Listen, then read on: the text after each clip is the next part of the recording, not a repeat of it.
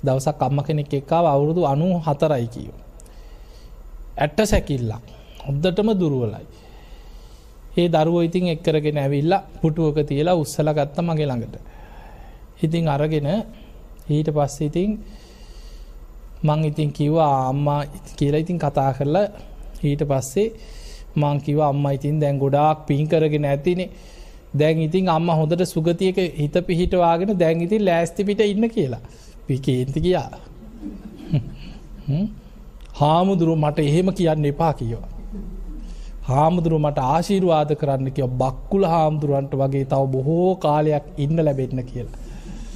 අවුරුදු එකසි හැටක්ම ඉන්න තමයි ආසා. පව්ඉතින් අහිංසක ආසාාව. එතකොට හිතන්න අවුරුදු අනූ හතරක් වුණත්. කොච්චර වැහැට සමහරයි ඉන්න සමහර මගේළඟට කම්ම කෙනෙකෙන අවුරුද්ධ අනු එකසිය තුනයි. ඒ අම්ම තමයි මේ ගිලන් ගොට්නැගිල්ල මුල්ගල තියෙනකොට මං එක්කා. තාම ඉන්න අවුදු සීයයි බිල්ඩිමට මුල් ගල තියෙනකොට යම්මට දැ එකසිය තුන ඉවර එකසිය හතර. එතකොට දැම ඒ පෙරි දත්තයිල මට බණකට ආරාධනා කර එකසිය හතර වෙන ධර්ම දේශනාවකට මේ විනාලිකාව. එතකොට තාම ඉන්නවා. තනියෙන් එන්නේ කවුරු තල්ලනවට කැමතිත් නෑ ඒ අර තියෙන ඇගේ පුුණ්‍ය ශක්තිය තියෙනවා සමහරුන්ට. සමහරයි ඉන්න අවුරුදු හැත්තෑ වසුව යනකොට හොද්දටම වැහැරිලා ඇට සැකිල්ල වගේට පස්. එතකොට අපේ ශරීරෙ කොච්චර දුර්වල වනත් නැකිට ගන්න බැරි වුණත් එක තැන මළමුට්ට කරගෙන හිටියත් අපි මේ අතහරින්න කැමති නැව කොච්චර කිවත් අතහරින්න කැමතිනේ අපි ලෙඩ්ඩු ළඟට ගිහිල්ල තියෙනවාන. මේ මැරෙන්න්න බට දාලා ඔක්සිජන් දීලා පනාදින අමාරු ලෙඩ්ඩු. අනේ හාදුරණී මාව බේරගන්න. අනේ හාමුදුරනේ මට මැරෙන්න්න බෑනේ හාදුරනේ මාව බේරගන්න කිය. ඒක තමයි ස්වභාවේ. කැමතිදේ නොලැබීමේ දුක. මරණය කරා යන කෙනා කැමති වෙනවා අනේ මටනම් මැරෙන්න්න බෑ කියලා කැමතිවෙන. හැබැයි කොච්චර මට මැරෙන්ට බෑ බෑ බෑමයි කිය කිය හිටියත් මැරෙනවාද නැද්ද. මැරෙනවා අපි කවුරුත් මැරෙනවා ඉපදුනා නම් මැරෙනවා මයි. ඒ නිසා පිංහතුනේ ධර්මය දියුණු කරන්න ලොකු උත්සාහයක් ගත්ත නැත්නම් අපි අමාරු වැටෙනු. අපි ළඟට ගොඩාක් අයි උත්සගෙනනවා. අන්ත අසරණයි ජීවිතේ. දවසක් එක තාත්ත කෙනෙක් ගෙනවා උත්සගෙන එක්කාව. පන්සිල් ටික දෙන්න බෑ. ඒ දරු ඇවිල්ල කිව තාත්ත රෑ එල්ලි වෙනකං හූ තියෙනවා කියෝ. ගිනි දැල් පේනවා කියලා කෑ ගහනොල්.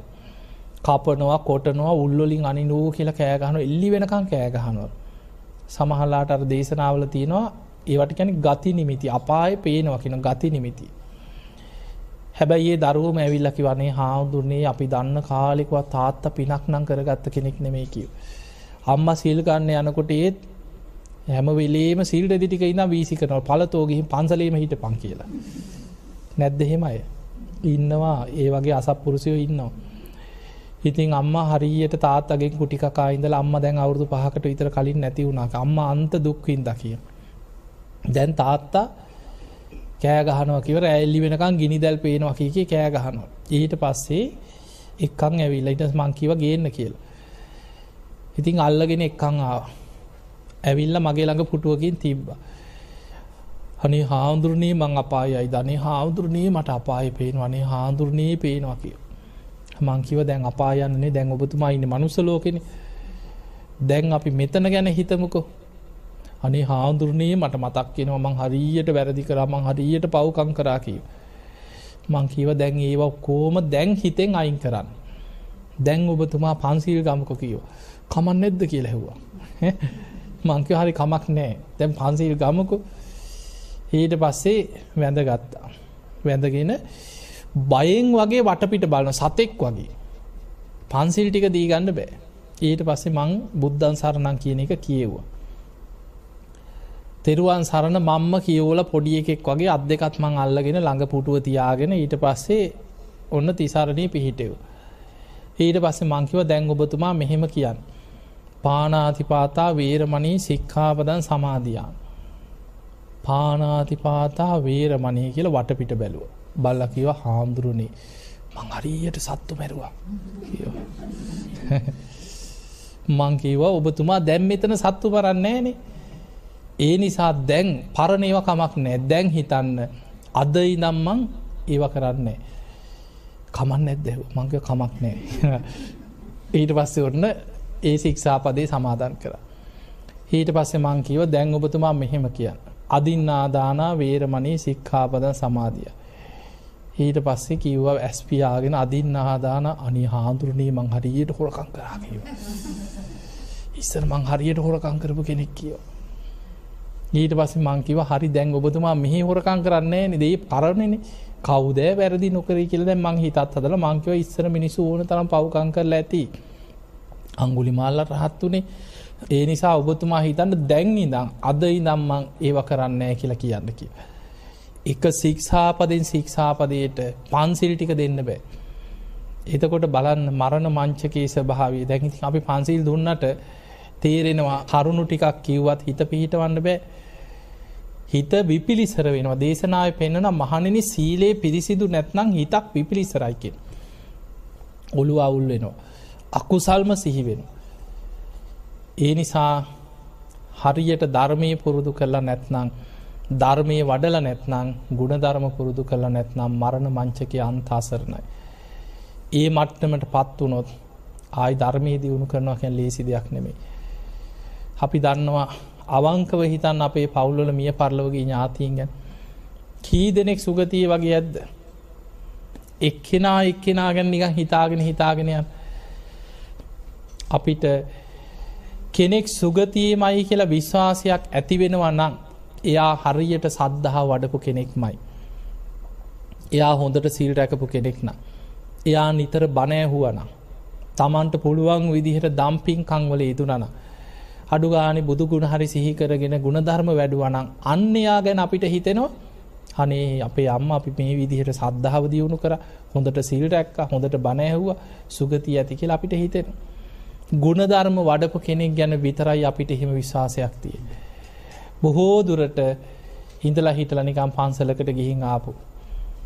ඔය උදේන රෑ වෙනකං ගමේ කේලං හොය හොය ජීවත් එච්ච. ටෙලිනාට්ටිටිකේම ජීවත් එච්චා ඉන්න අනෙන ආයි බනක් අහන්නේ නෑනි සමහරම්බල එවැනි චරිත ගැන මොකද මන් දවසක් ඉස්පිරිතාලෙක ලෙඩෙක් බලන්න ගිය. ඒ අම්ම පුතුම බයක් දරුව හතර දෙනෙක් හිටිය ඇඳ ළඟ. ඒක පුතෙක් තමයි මට කීවේ අනේ හාදුරනේ කියක ඉතින් පින්සෙන්දු වෙනවා ඊට පස්සේ මං ඉතින් කොළඹ බනත් තිබ වෙලාවක ගියා. යනකොට මේ අම්ම ළමයින්ට බට වගේකුත් දාලා තිබුණා ළමයින්ට වදිනවා.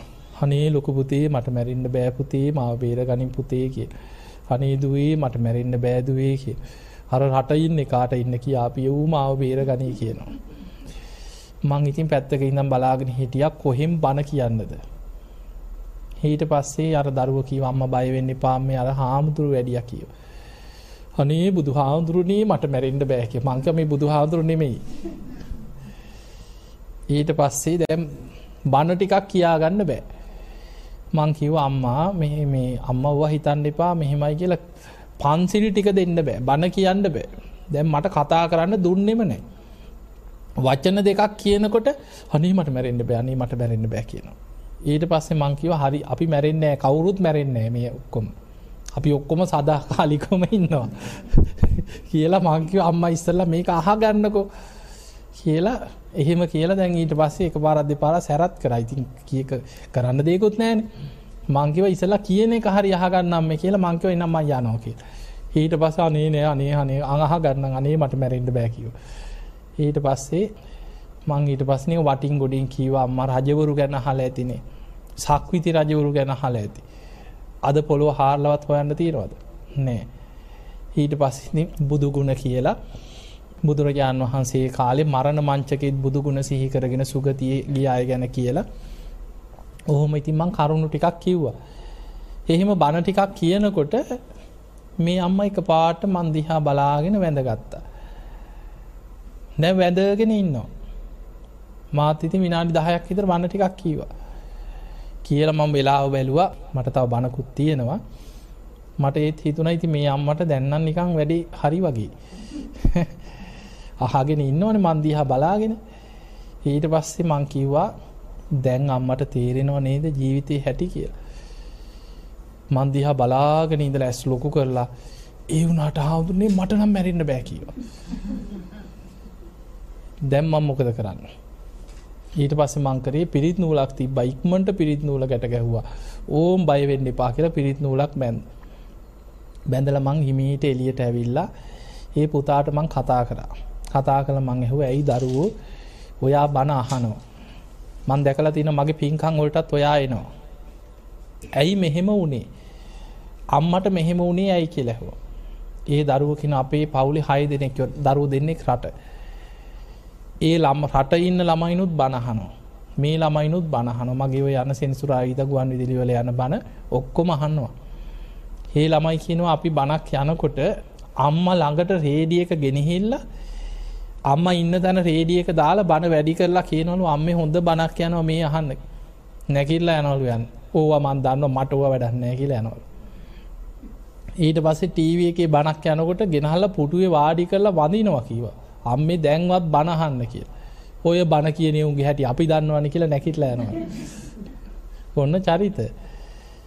ඒ ළමයි කියනවා පෝය ලංවෙනකොට වැඩිපුර අම්මට ආදරයේ පෙන්න්නනවා කියෝ සිල් රැදි ගෙනහල්ලා ළමයිම මේවා මැදලා රෑ ඉදන් දැන් අම්මාව බදාගෙන අම්මාව ඉම්බල අම්ම හිට අපි එක්ක සිල් ගන්න යන්න ඕනෑ. ඔන්න අපි අම්ම අපි අම්මාව එක්කයි යනවා. අම්ම සිල් ගන්නවා නේ දම්ම කියලා ඉතින් දැන් අම්ම තුරු කරගෙන ඉදලා උදේ පාන්දර කොහොමහරි දැන් වාහනි දාගෙන එක්කං ගියත් පන්සල ලංවෙනකොට යකෙක් වැහෙනවා වගේ කිව. මට බෑ මං යනවාගේතර මං යන උඹල පලයල්ල කියලා වාහනෙන් හරි බැහලයිනවා කිය. කරුම ඒවා කර්ම විපාක එච්චර සද්ධාවත්ත ළමයි ඉඳලවත් අම්ම පන්සලකට එක්කන් යන්න බැරි වුණාකි. බලන්න බෞද්ධ සුරූප අන්‍යාගමිකයකුත් නෙමෙන් බෞද්ධ සුරූපයෙන් ඉපදුනත් බණහන්න පුළුවන් පරිසරයක හිටියත් කර්ම විපාකෙන් වැහෙන හැටි. ඒ දරුව කියනවා හැබැයිතින් අර ටෙලිනාට්ටි ටික හවස ඉඳගත් හම එකින් එක මාරු කර කර රෑ දහය කොල්හා වෙනකන් ටීවිය එක ළඟම තමයි කිව. හෝක තමයි හෝනියම. අන්තිමට මැරෙන්න්න වැටෙනකොට අන්ත අසරණයි. ආයි හාමුදුරුව කෙනෙකුටවත් ගිහිල්ලා හිත පිහිට ඕනවා තිය පන්සිල්ටික දෙන්නවත් බෑ. ඒ නිසා දැන් හිතන්න ඔහොම මැරිලා සුගතියයිද? නෑ ආයිතින් එක්කෝ දුගතියක එක්ක පෙරේත ලෝකෙක එක්කො අපායක. ඒ නිසා මේ ලැබිච්ච මනුස්ස ජීවිතය තුළ අවංකෝම හිතන්න ඇත්තටම අපිට සුගතියකවත් යාගණ්ඩ බැරිවුණොත් මනුස්ස ජීවිතයට ලැබිලා බුද්ධ ශාසනිත් ලැබිලා ෂණ සම්පත්තිය ලැබිලා බණහන්නත් ලැබිලා කල්්‍යයානමිට්‍ර සේවනයක් ලැබිලා හොඳට පින් කරගන්න අවශ්‍ය පරිසරයක් ලැබිලා. මේ ඔක්කෝම අතට ලැබිලා අත්තට ලැබිච්ච අවස්ථාව අත හැරුණු. ආය අපි තරම් අවාසනාවන්ත පිරිසක් ඉන්නවද. ඒ නිසා මේ ලැබිච්ච මොහොතේ ධර්මය දියුණු කරගන්න දක්ෂවෙන්. ධර්මය අවබෝධ කරගන්න වීරිය වඩා. තින් එහෙමනං ඔබ හැම දෙනාටම හැම වෙලායම හිතන්න මේ ලැබිච්ච මනුස්ස ජීවිතය දවසින් දවස මොහොතින් මොහොත ෂනේෂණය මරණයට ලංවෙන. අපි දන්නේ නෑ කවද කොතන කොයි මොහොතේ හුස්මටික අයිද කියල දන්න. මිය පරලවගිය කෙනෙක් වෙනුවෙන් අපිට එකම දෙයයි කරන්න පුළුවන්. ඒ කෙනා සිහිපත් කරලා පින් දෙන්න පුළුවන් එච්චරයි. අතින් අතට යමක් දෙන්න පුළුවන්ද. වෙන දනම් අතින් අතට යමක් දෙන්න පුළුවන්. කෙනෙක් මැරුණට පස්සේ අතින් අතට යමක් දෙන්න බෑ. අපිට පුළුවන් යා සිහි කරලා පින් දෙන්න. ඒ නිසා ජීවත් වෙලා ඉන්න කාලෙ හොඳට පිනක් කුසලයක් කරගත්තු තායි කාගෙවත් පිනක් ඕන්නේ තමන් සුගති යනු. ඒ නිසා පින් ගන්නවා කියන්න මේ වගේ දැන් අපි ගමු අපි පාර එනකොට අපි හිතම අපි අන්ත අසරණ හිඟන්නෙක් කවුරු හරි දැක්ක කියලා. අපිට සමහරයි දැක් හමිතන අනේ අපේ අම්ම වගේ මේ අපේ තාත්ත වගේ කියලා දුක හිතෙන අවස්ථායන. අපි හිතම අපි එහෙම අනුකම්පාවක් ඇතිවෙලා අපි ලොකු මුදලා අපේ බෑක එකෙන් ඇදල අපිකම අපි රුපියල් දෙදාහක් දුන්න කියල. එහෙම දෙනවද හිඟන්නන්ට?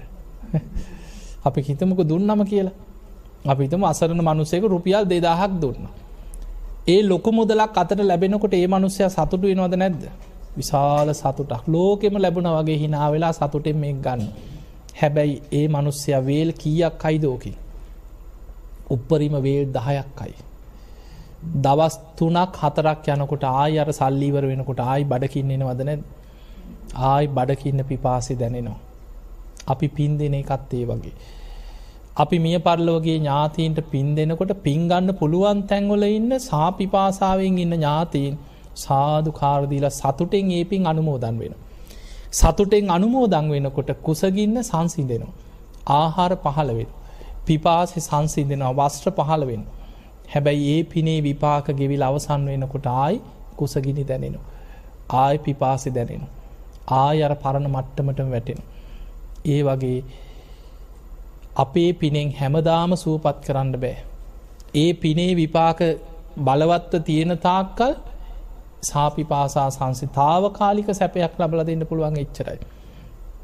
ඊළඟට අපිට ඕන විදිහට සුගතිය යවන්නත් බෑ. තම තමන් රැස්කරගත්ත කර්මාරගෙන යන සංසාර ගමන. ඒ නිසා කර්මය ගැන හැමවෙලීම හිතන්න භයානක සංසාර ගමන අපි ඉන්නේ. තින් එනි සවබ හැම දෙනාටම සද්ධහාදී ගුණ ධර්ම දියුණු කරගෙන උතුම් වූ ධර්මය අවබෝධ කරගන්න වාසනාව ලැබේවා ලැබේවා ලැබේවා කියල අපි ආශිර්වාද කර. අද ධර්මශ්‍රවනයෙන් රැස් කරගත් සියලු පින. සියලු දෙවියෝ සාධු කාරදිදීමේ පින් අනුමෝදන් වෙත්වා දෙවියන්ගේ දෙවියසයිසුරු වර්ධනය කරගෙන සියලු දෙවියෝ සසර දුකින් අතමිදේවා කියල සාදු කියල පින්ද. ඒ සියලු දෙවියන්ගේ පිහිට රැකවරණ ආශිර්වාදේ. ඔබ හැම දෙනාටම ලැබේවා ලැබේවා ලැබේවා කියලපි ආශිර්වාද කරන. හැම දෙනාම නිදුක්කේවා නිරෝගි වේවා සුවපත්තේවා සුවපත්තේවා සුවපත්ත.